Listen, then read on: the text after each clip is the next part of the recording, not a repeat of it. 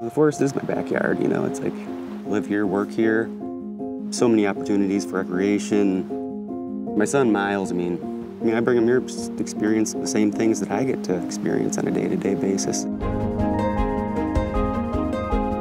Without a healthy forest, I mean, we wouldn't have a clean river to swim in, fish in. If we do our part now, I mean, his generation might have a better shot. Keep it clean.